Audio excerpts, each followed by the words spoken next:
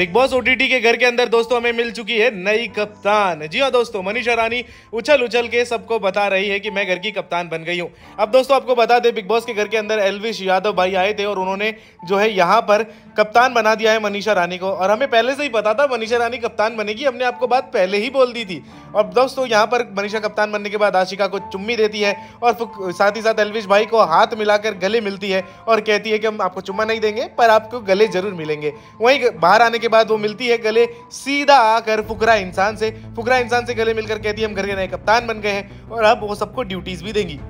लेकिन किसी को यह नहीं पता है कि घर में दो वाइल्ड कार्ड आने वाले हैं। यही दोनों एलविश और आशिका ही वाइल्ड कार्ड होने वाले हैं। अब इसे कैसे सरप्राइज़ एंट्री होगी, ये बहुत ज़्यादा एक्साइटमेंट बना रहेगा। तब तक के लिए दोस्तों, आप हमें कमेंट करके बताएँ, क्या मनीषा घर की नई कप्तान साबित होगी? फुकरा इंसान जो कि उन्हें कप्तान बनाने के लिए कब से कोशिश कर रहे थे। आखिरकार उन्होंने कप्तान बना ही दिया मनीषा को। दोस्तों कमेंट ज़रूर करना। बिग बॉस की और भी लाइव फ़ीड की अपडेट के लिए सब्सक्राइब कर देना हमारे चैनल देखो देखो को।